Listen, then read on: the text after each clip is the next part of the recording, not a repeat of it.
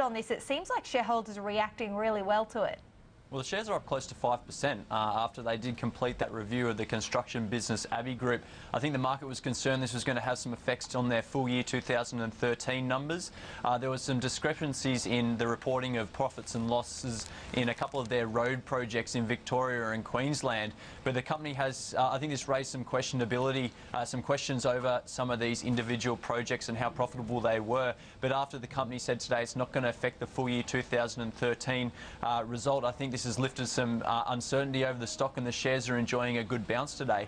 Uh, for Lendlease, the performance has been, uh, regardless of this, still quite strong. I mean, the stock's up year to date around 25%. Uh, the property sector in general has performed very well. Uh, Lendlease, uh, sorry, sorry, Lendlease is up around 11%. The property sector in general is up around 25%. So a strong performance, given uh, investor sort of preference for moving away from sort of cyclical uh, sectors in the in the market at the moment. But full year 2013 is shaping up to be quite a good year for Lendlease. There's a few major projects going on for them. Uh, Barangaroo in Sydney is going to be a huge one for 2013, looking at profit adding of around 80 to 90 million dollars from that. Um, also on top of that, there'll be further uh, development and construction fees. Uh, looking at the Sunshine Coast University Hospital, that's going to add around $26 million in full year 2013.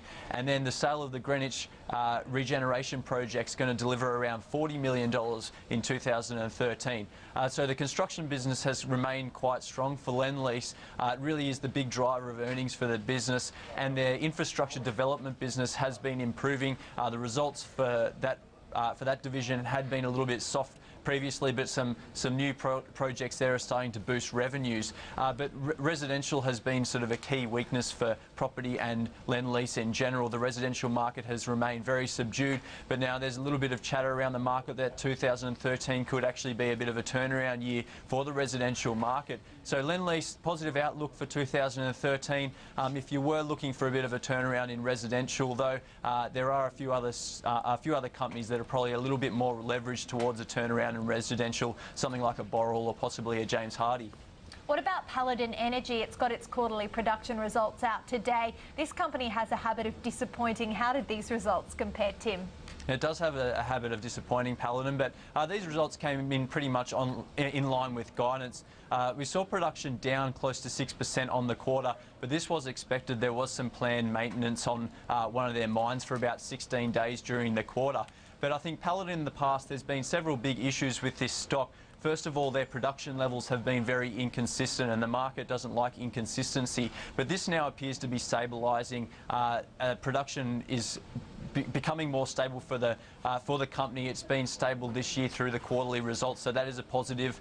Uh, debt has been another issue. Um, gearing levels currently around 40% are on the high side. Uh, there were concerns over how the company is going to service this debt, uh, but looking like with costs coming down and production on the increase, they could well uh, decrease this level to around 30% by full year 2013, which would be a positive. And this would be really helped by that $200 million prepayment we saw uh, that they've agreed over a six-year year off-take agreement uh, and a $200 million prepayment is going to help them pay down the $134 million in debt which is coming due early next year. I think that the final issue facing Paladin is that uranium price which has uh, been has low, has fallen significantly after we saw those developments in uh, Japan last year. Um, it's been a little bit soft this past quarter as well. The spot price back below $50 at the moment. Uh, but Paladin did say in their results they achieved an average price of just below $50. Now, some Bell Potter research shows that $50 is a key level for the uranium price for Paladin.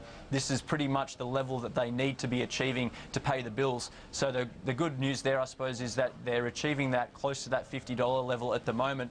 But uh, I think the market is expecting uranium prices to slowly increase, but the pace of increase is going to be quite slow over coming years. Uh, but a positive for earnings should see production moving forward, uh, moving higher and costs start coming down. So we could even see Paladin turn a profit next year or possibly 2014.